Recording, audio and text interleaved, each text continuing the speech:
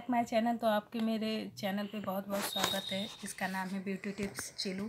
आई hope चिलू आप लोग के मन में होता होगा, पर ये मेरा निक नेम ही है।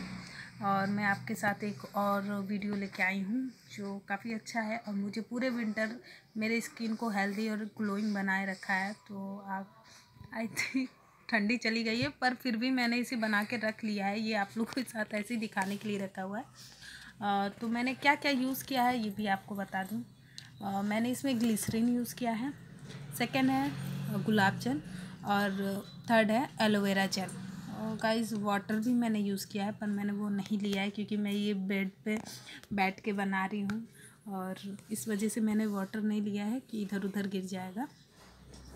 तो गाइज़ इसे क्वांटिटी कितना यूज़ करना है ये भी मैं आपको बता दूँ। ग्लिसरीन जो है हाफ़ लीजिए हाफ़ टी स्पून एंड गुलाब जल जो है, आप इसे मतलब ये इतना था तो मैंने इसका हाफ़ यूज़ कर लिया है। बहुत ज़्यादा नहीं, आप इतनी बड़ी शीशी में जो है हाफ़ या थोड़ा सा ही हाँ हाफ़ या इसको यूज़ कीजिए और वन टीस्पून एलोवेरा जेल इसे भी हाफ़ ही रहने दीजिए हाफ़ टी स्पून एक्चुअली मैं बहुत ज़्यादा एलोवेरा जेल जो है कि डायरेक्ट लगाना यूज़ करती हूँ वाटर के साथ क्योंकि स्प्रे करने में हो सके दिक्कत आने लगे तो इसलिए मैं सिर्फ़ थोड़ा सा ही डाली थी। हाफ़ टी स्पून ही आ समझ लीजिए, क्योंकि मैंने फिंगर से डाला था ना तो टी स्पून का मुझे अंदाज़ा नहीं था, इस वजह से मैं ऐसे बोल दी।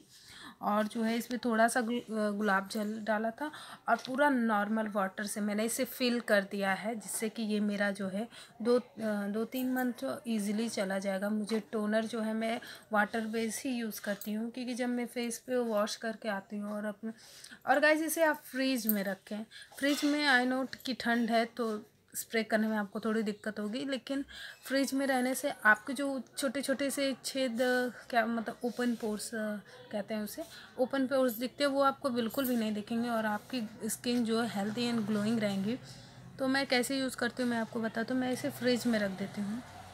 और सुबह जो है, फेस को अपने अच्छे से क्लीन करके फेस वॉश से, और फिर उसके बाद मैं अपने फेस को टॉवल से टैप करके पोछ लेती हूँ, फिर इस इसको फ्रीज से निकाल के अच्छे से शेक करके अपने फेस पे पूरा स्प्रे कर लेती हूँ।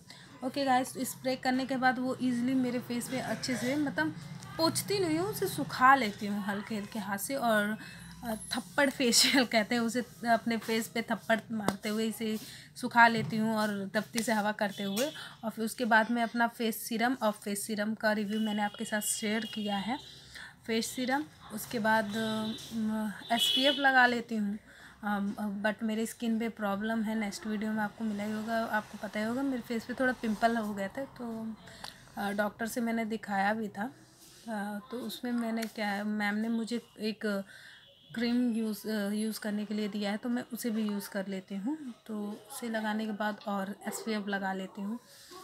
बस मेरा सुबह का जो है रूटीन ये क्लियर हो जाता है, उसके बाद मैं अपनी ड्यूटी निकल जाती हूँ। आई होप आप इसे ज़रूर ट्राई करें, क्योंकि विंटर में, मैं इसी विंटर यूज़ की हूँ, मैं इससे पहले ये कभी नहीं यूज़ की हूँ। बस समर में जो होता है कि मैं रोज़ वाटर टोनर की जगह अपने सिर्फ़ फेस पे रोज़ वाटर स्प्रे कर लेती हूँ। पर विंटर में मैंने ये विंटर भर यूज़ किया। मेरा विंटर में स्किन जो है, बिल्कुल भी डल नहीं हुआ, बिल्कुल ग्लोइंग स्किन थी। तो मैंने सोचा आप लोग इस विंटर नहीं तो नेक्स्ट विंटर में ज़रूर ट्राई कीजिएगा। और रिज़ल्ट जो है नेक्स्ट विंटर में ही आप ज़रूर मुझे कमेंट कीजिएगा इसका रिज़ल्ट मुझे अच्छा लगेगा, पर आप इसे यूज़ ज़रूर कीजिएगा। मुझे बहुत ही ज़्यादा अच्छा लगा। आई नो कि अभी मार्च तक हल्की फुल्की ठंडियाँ, ठंडी और फिर हवा वगैरह चलता है इसी टाइम में। काफ़ी ज़्यादा तो उसकी वजह से स्किन पे थोड़ी प्रॉब्लम होती है तो मैं दो तीन महीने के लिए इसे बना के रख ली हूँ। और आप भी चाहें तो इस टाइम भी बना के रख लीजिए और आपको बहुत ही अच्छा रिज़ल्ट मिलेगा। मुझे पूरा यकीन है अपने इस टोनर पे मुझे इसका रिज़ल्ट बहुत ही ज़्यादा पसंद आया। गाइज़ आप लोग ज़रूर यूज़ करें। तो गाइज़ ऐसी ही छोटी मोटी वीडियो के लिए आप मेरे चैनल को सब्सक्राइब कर लें। मैं ऐसी ही एक्सपेरिमेंट वीडियो जो है आपके साथ लाती रहूँगी। जो मुझे सूट करता है, क्या सूट नहीं करता है और भी लोगों को वो चीज़ सूट करता है, किसको सूट नहीं करता है, इस टाइप की वीडियो मैं आपके साथ लाती रहूँगी। तो आप मेरे चैनल पे बने रहें, मेरे चैनल को सब्सक्राइब करना बिल्कुल नहीं भूलें।